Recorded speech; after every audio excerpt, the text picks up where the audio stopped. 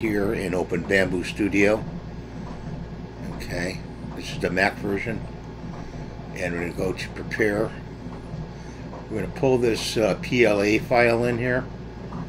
Okay, the PLA. Let's just get rid of that. Get rid of that. Okay, and uh, we're going to go up to File, Export. We're going to go to Toolpaths Object.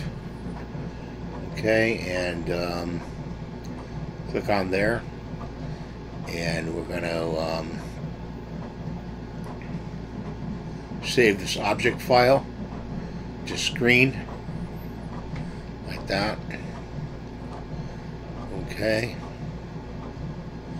And then we're going to go up to here. New new project. You see these all marked PLA we're going to pull in the object file right here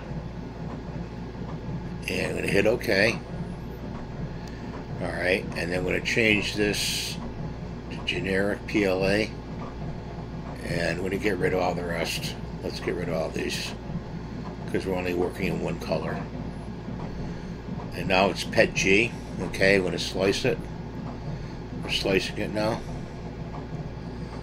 Okay, it's sliced. Let's get rid of that. Now we're going to go up to File, Export and I'm going to go to export sliced file G. Uh, we're going to title it pet G base because it's a base for a model. Uh, we lost the extension. Hang on. File.